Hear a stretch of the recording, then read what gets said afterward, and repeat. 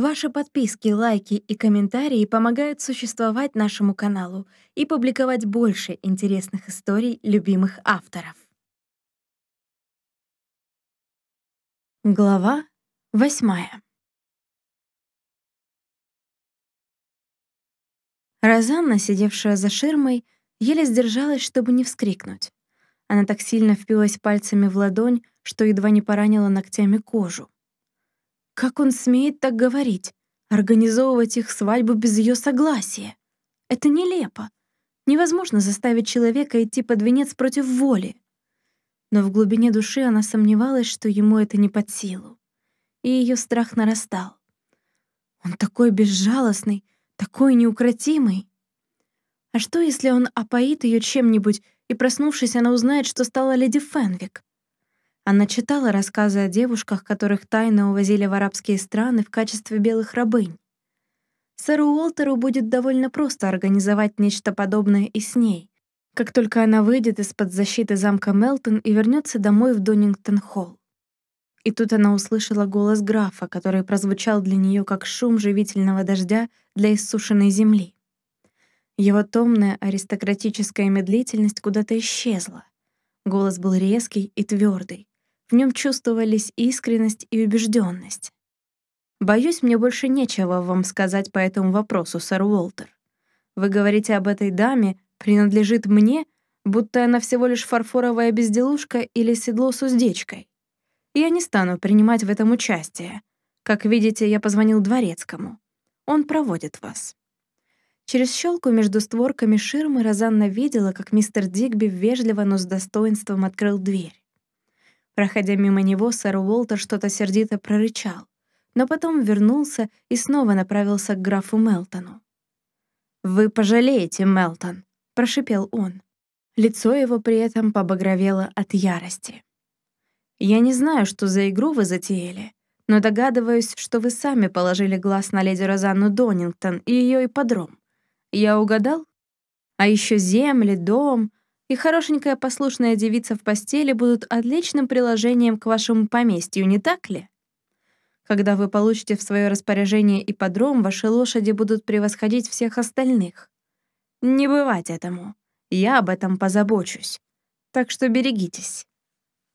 Он, наконец, ушел, и Розанне показалось, что в комнате сразу стало светлее и свежее. Сделав глубокий вдох, она шагнула из-за ширмы. Теперь наступило ее время все объяснить. Граф обернулся и посмотрел на нее. Она не могла понять выражение его лица. Розанна подняла подбородок выше и посмотрела на человека, который до недавнего времени был ее пациентом. Она не боялась, успев хорошо его узнать за время своего пребывания в замке. Граф честный и добрый человек. И даже если он сердит на нее, он все равно будет с ней вежлив, он церемонно поклонился. «Леди Розанна Донингтон». Девушка присела в коротком поклоне. «Лорд Мелтон». Губы графа дрогнули в улыбке, и он протянул ей руку. «Это очень странная встреча, мисс. Вы удивительно похожи на сиделку, которая ухаживала за мной во время недавней болезни. Настолько, что можно предположить, что вы сестры. Розанна заметила искорки смеха в его темных глазах. Возможно, она принадлежит какой-нибудь ветви нашего рода, милорд. По всей видимости. Его лицо стало серьезным, и он провел ее к диванчику у окна. Розанна опустилась на синий бархат подушек. «Я должна искренне извиниться, граф, за то, что вот так обманула вас. Поверьте, я бы не стала так поступать, если бы у меня был какой-то иной выбор. Смею надеяться, что недостаток медицинских навыков и знаний не причинил вреда вашему здоровью. Она прикусила губу.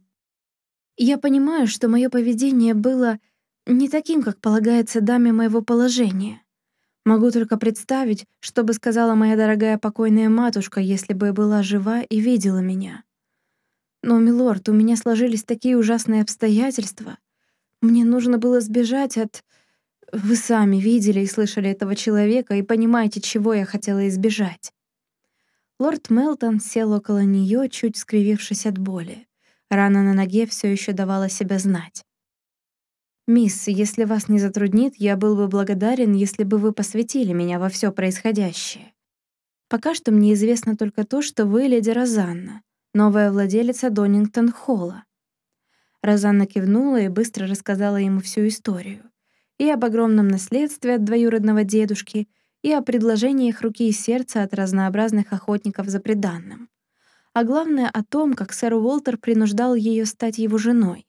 Ей ничего не оставалось, как сбежать от него. Каким-то непостижимым образом он узнал, где она скрывается, и приехал за ней следом. Девушка содрогнулась. «Отвратительный, омерзительный человек. Он вознамерился жениться на мне, но причина его непоколебимого решения — мои деньги, и подром, и лошадь Донингтон-Холла. Он говорит только об этом». Она почувствовала, как краснеет. Я точно знаю, что привлекает его отнюдь не моя скромная персона. Не настолько я тщеславна, чтобы поверить, будто обладаю такой властью над мужчинами, что они готовы совершать ради меня даже безнравственные поступки. Лорд Мелтон провел руками по непослушным волосам. Он выглядел очень серьезным, поскольку почувствовал дикую, граничащую с безумством необузданность в поведении сэра Уолтера. Даже ему было не по себе. Легко представить, как это пугает юную девушку. От графа не ускользнуло и то, что леди Розанне, сидящей рядом с ним, дважды удалось перехитрить преследователя. «Вы говорите, что ваша камеристка живет у меня на конюшне?» — спросил он, возвращаясь к последней части ее рассказа. «Эдди Робинсон. Это ее имя я назвала вместо своего. В попыхах я не могла вспомнить ничего другого. Сэр Уолтер выгнал ее из Донингтон-холла, когда она вернулась из Лондона. Вот она и пришла сюда. Лицо девушки озарила теплая улыбка. «По-моему, ваш главный конюх очень увлечен Эдди, да и она к нему неравнодушна. В конце конюшни есть какая-то комнатка, где он держит свои записи. Эдди спит там, но остальное время проводит в доме Джона Баркера и заботится о его маленькой дочери». Лорд Мелтон нахмурился. Он только сейчас начал понимать, сколь многое произошло в замке за время, пока он болел. «Ой, пожалуйста, не сердитесь на Джона», — умоляюще произнесла Розанна, угадав, что означает выражение его лица. «Он только хотел помочь, поверьте мне. Эдди умеет быть очень убедительной». Граф посмотрел в ее васильковые глаза и непроизвольно улыбнулся. Невозможно отказать этой юной особе, так скромно сидящей в этой слишком большой для нее униформе сиделки. Он подался вперед и тронул пальцем белый накрахмаленный чепец. «Неужели вам по-прежнему нужно носить на голове это уродство, даже теперь, когда я знаю, кто вы на самом деле?» Розанна вспыхнула, подняла руку и стянула головной убор. Чепец зацепил шпильку, скалывающую волосы, и золотые локоны рассыпались по плечам, как облако взбитой сахарной ваты. Лорд Мелтон ахнул, потрясенно уставившись на нее своими темными глазами. «Так вы и есть мой светлый ангел!» — воскликнул он. Видение, которое возникло передо мной на постоялом дворе по дороге из Бата, когда мне было особенно худо. Тот ангел, что помог мне. Розанна в смятении кивнула. «Я в первый раз ехала в Донингтон-холл, милорд. Одна из лошадей потеряла подкову, и мы остановились на постоялом дворе, чтобы подковать ее. Я очень расстроилась, когда увидела, что какой-то джентльмен так мучается от боли и лежит совсем один, беспомощный. Лорд Мелтон склонил голову. «Я в долгу перед вами, леди Розанна.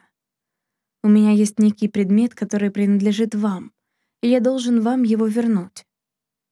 Розанна в замешательстве смотрела, как он опустил руку в карман брюк и вынул маленький смятый белый платочек, оттороченный тонким кружевом. «Я полагаю, это ваш платок», — сказал он с сияющими глазами.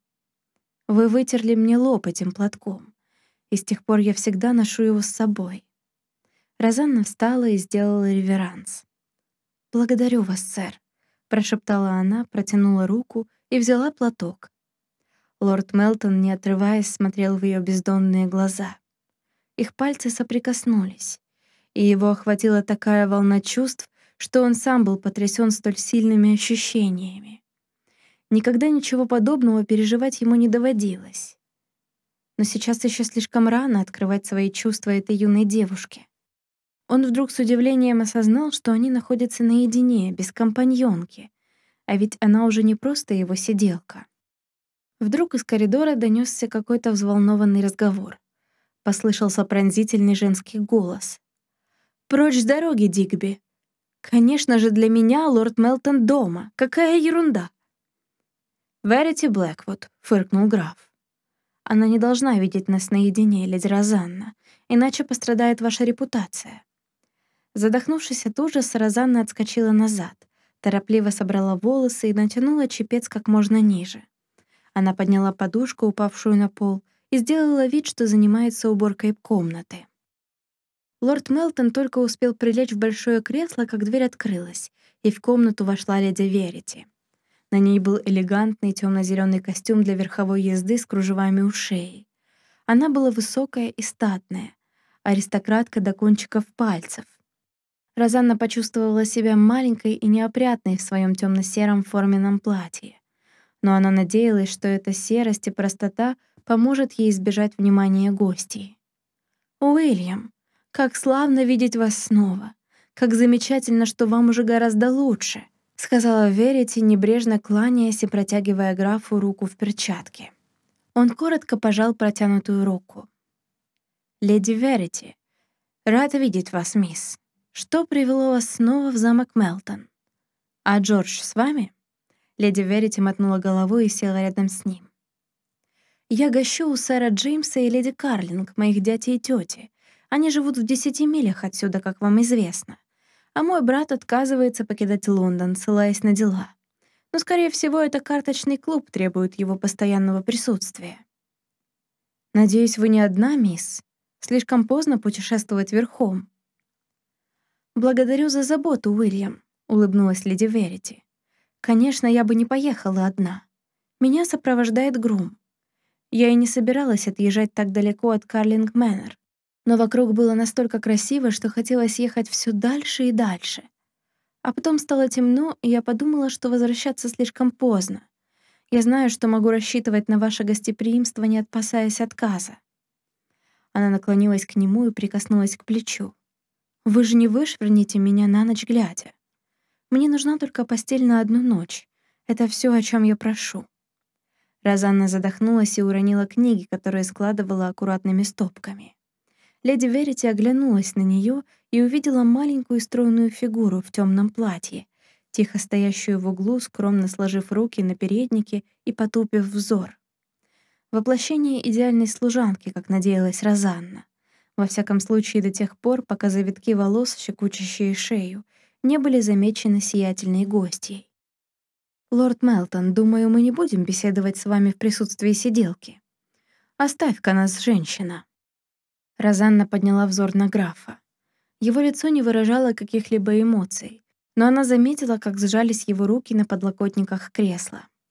Девушка инстинктивно почувствовала, что он никогда не позволил бы себе быть грубым со слугами, и только вежливость по отношению к гости удерживала его от того, чтобы сделать замечание леди Верити. «Будьте так любезны, сиделка Робинсон», — сказал он.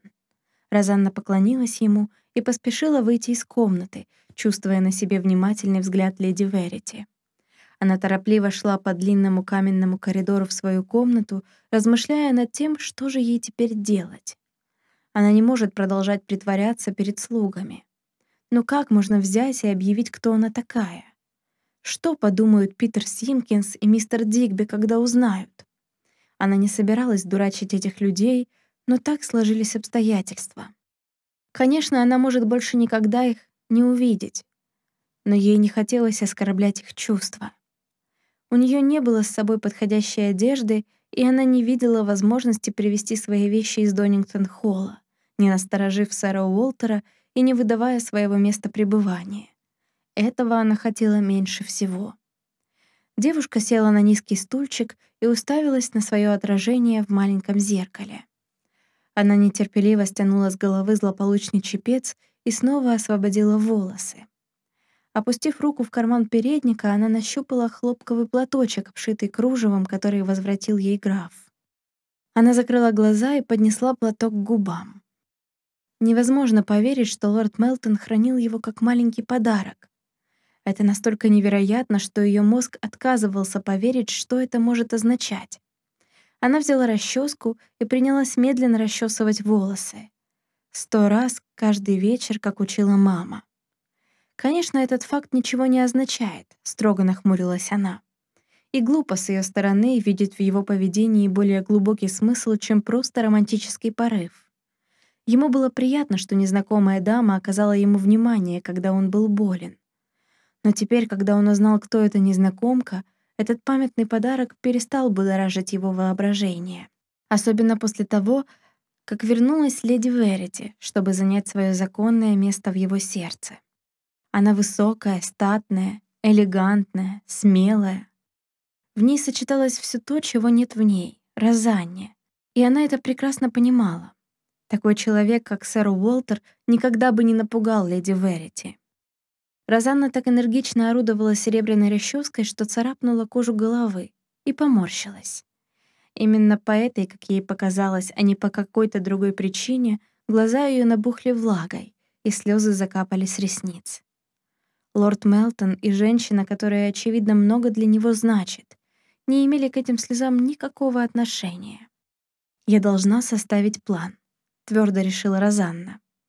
Я сбежала, чтобы дать себе время подумать. Теперь, вероятно, пришла пора встретиться мне с сэром Болтером лицом к лицу и оказать ему сопротивление. Завтра, как только рассветет, возьму Эдди, и мы вернемся в Донингтон-холл. Я поговорю с сэром Волтером вежливо, но твердо. Объясню, что никогда не соглашусь стать его женой. Если он откажется покинуть мой дом, я обращусь к местному констеблю. Приняв такое решение, Розанна бросила расческу на туалетный столик. Теперь, глядя на свое отражение в зеркале, она видела не печальное и робкое создание, а девушку с высоко поднятым подбородком и сверкающим решительным взором. Розанна отказывалась думать о возможных последствиях своего шага. Сейчас она просто хотела уехать домой, оставив замок и графа. Ей не хотелось видеть, как он воркует со своей дамой. Неожиданно слезы хлынули из глаз и потекли прозрачными ручьями по щекам. Девушка подумала, что уж лучше встретиться лицом к лицу с этим ужасным сэром Уолтером, чем наблюдать, как лорд Мелтон прогуливается по чудесному замку под руку с леди Верити. Ранним утром леди Верити спешно спускалась по парадной лестнице. Голова ее была гордо поднята, глаза сверкали гневом. Как он посмел? Как смел лорд Мелтон отмахнуться от их отношений, перечеркнуть их несколькими холодными словами? Она отпихнула лакея, вскочившего, чтобы открыть перед ней дверь. Слуга был потрясен столь быстрым отъездом. Обычно гости ожидали, пока их коней или экипажи не подадут к крыльцу. Но сейчас он точно знал, что на конюшню не поступало никаких распоряжений. «С дороги, болван!» — крикнула она и не остановилась, пока не дошла до дорожки, посыпанной гравием, которая тянулась вдоль всего рва, окружавшего замок. Верити не могла припомнить, чтобы ей когда-нибудь прежде наносили такое оскорбление. Она так обрадовалась, когда увидела, что Уильяму стало гораздо лучше. Но он пропустил мимо ушей ее замечание, что теперь они могут планировать свое будущее к взаимному удовольствию. Граф прервал ее на полуслове, как только вышла сиделка, сказав, что она должна его простить, но у него болит нога, и ему пора отдыхать. Надменный дворецкий провел ее в отведенную комнату. Леди провела неприятную, беспокойную ночь, пытаясь придумать, как добиться своей цели. Сегодня утром леди Верити еще была уверена, что сможет наконец вытянуть из графа предложение помолвки. Она с восхищением обнаружила, что хозяин замка достаточно окреп, чтобы спуститься вниз к завтраку. Но еще до того, как она выпила кофе, лорд Мелтон заговорил с жестокой прямотой. «Мисс, покорнейше прошу меня извинить, если я хоть одним своим неосторожным словом или действием дал вам повод надеяться соединить наши имена. Я высоко ценю нашу с вами дружбу, как и дружбу с вашим братом, но мое сердце уже принадлежит другой». Леди Верити отвернулась, чтобы не показывать, как исказилось от гнева ее лицо. «Правда?» А могу ли я полюбопытствовать, кому именно? Повисла пауза. Потом лорд Мелтон пробормотал. Моему ангелу, конечно. Леди Верити с силой хлестнула кнутом по маргариткам в изобилии, растущем вдоль стен замка, как если бы это была ее соперница. Его ангелу. Кто же это смог пробраться к его сердцу и украсть у меня его любовь? Должно быть какая-нибудь местная девчонка. Я уверена, никто в Лондоне не посмел бы вмешаться в мои планы. О, если бы мне только дали пять минут пообщаться наедине с этой сладкоречивой мисс я бы показала ей, что со мной нельзя шутить. Быстрым шагом она направилась на конный двор. Вчера она оставила лошадь на попечении грума, который ее сопровождал. Леди Верити надеялась, что ее очевидная любовь к верховой езде еще больше привлечет внимание лорда Мелтона. Она выбрала амазонку, которая больше всего ей шла. Но с таким же успехом она могла бы вырядиться и в рубище. Он не обратил никакого внимания на ее наряд. «Миледи?» Ее грум выбежал из конюшни, отряхивая крошки с куртки. Он как раз завтракал, и не мечтая о том, что его хозяйка решит покинуть замок так рано. «Оседлай мою лошадь, я сейчас же уезжаю». «Слушаюсь, миледи». «Конечно, миледи. Вы подождете здесь или...» «Не болтай, просто оседлай лошадь, которую дал мне дядя. Быстро». Грум вернулся в конюшню, а она осталась ждать его, кипя от гнева. «Какое у вас красивое платье, как изумруд!» Леди Верити повернулась и увидела маленькую девочку, которая смотрела на нее во все глаза. Ручки и лицо девчушки были покрыты грязью. Она возилась в луже, которая не успела высохнуть после утренней поливки двора. Леди Верити брезгливо отдернула темно-зеленый подол от протянутой ладошки. «Уходи, девочка», — отрывисто приказала она. «Меня зовут Милли Баркер. — важно ответила та, беспечно проигнорировав очевидное раздражение взрослой дамы. Девочка была еще слишком мала, чтобы знать свое место в этом доме. Ребенок постарше никогда бы не осмелился заговорить с леди, пока та не обратилась бы к нему сама. «Я живу вон там, в коттедже». Высокая элегантная женщина нетерпеливо постукивала по ноге кнутовищем. «Где, черт возьми, этот жалкий грум с ее лошадью?» Я упала в ров, но мисс Эдди вытащила меня. Правда? Почему никто не придет и не заберет этого мерзкого ребенка? Мисс Эдди живет в маленькой комнате на конюшне. Она там прячется. На самом деле она камеристка из богатого дома. Леди Верити почувствовала укол любопытства. Эта информация пахла скандалом, а ее всегда интересовали подобные вещи. «Из богатого дома?» — переспросила она, с трудом заставив себя сменить тон на мягкий и ласковый. Она ничего не знала о детях, и хотя понимала, что когда-нибудь ей придется родить мужу одного-двух детей, старалась не думать об этой малоприятной проблеме. Но она также знала, что на мед поймаешь больше мух, чем на уксус. Девочка потеряла интерес к разговору и принялась перепрыгивать через лужу на одной ножке. Грязная вода брызгала на ее белый передничек и на натертые до блеска ботинки леди Верити. «Смотрите, как я умею прыгать!» «Да, дорогая, ты очень хорошо прыгаешь. Милли, а в каком доме работает Эдди?» «Я не знаю. Это секрет». «Секрет, что она живет в большом доме?» «Нет же. Секрет, что она в замке со своей хозяйкой, вместо того, чтобы быть в Донингтон-холле». Верити удивленно распахнула глаза. Она с трудом удержалась, чтобы не вскрикнуть от удивления. Потом она открыла кошелек, который носила на поясе, и достала из него монетку. «Вот, Милли», — проворковала она. «Это подарок для одной славной маленькой девочки. И умненькой, я уверена. Ты можешь мне сказать, чьей камеристкой работает эта Эдди?» Милли с сияющими глазами взяла монетку. «Она живет в замке вместе с лордом. Она притворяется сиделкой но на самом деле она леди. Мой папа часто говорит о ней с мисс Эдди. Эта дама прячется. Это большой секрет. Она леди. Леди Розанна. С этими словами девочка в припрыжку побежала прочь. Леди Верити смотрела вслед ребенку, и мысли вихрем кружились в ее голове. Когда она приехала из Лондона, тетка рассказала ей все местные сплетни. Вся округа была удивлена исчезновением леди Розанны Донингтон. Ее наследство, жизнь в Лондоне, приезд в Донингтон-Холл и последовавший вскоре приезд известного аристократа сэра Уолтера Фенвика вместе с друзьями стали главными новостями в округе. У каждого было свое мнение. Все только об этом и говорили. Ведь тут много лет ничего особенного не происходило. Тетка Верити была большой сплетницей. Она шепнула племяннице, что скоро можно ожидать объявления о свадьбе. Все местные аристократки уже начали советоваться со своими портнихами по поводу новых нарядов или стали последние журналы мод. Но леди Розанна исчезла, и поговаривали, что сэр Уолтер прочесывает окрестности и предлагает награду тому, кто укажет местонахождение его сбежавшей невесты. Так вот, кто червем прополз в сердце лорда Мелтона, пробормотала в Верите, когда появился грум с двумя лошадьми. Это может быть только она, леди Розанна Донингтон. Это та женщина, которая была в его комнате вчера вечером. Я видела, как он разговаривал с ней. Если бы я только знала. Как она могла такое сделать? Притвориться сиделкой?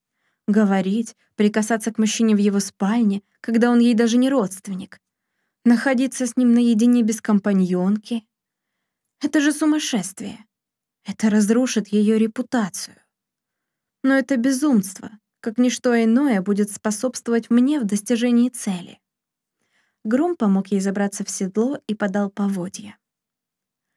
«Мы направляемся домой, миледи?» — спросил он, вскочив на свою лошадь. «Пока нет. Я хочу поехать в Донингтон-холл. Прямо сейчас и как можно быстрее». Она улыбнулась, развернула лошадь и пустила ее рысью.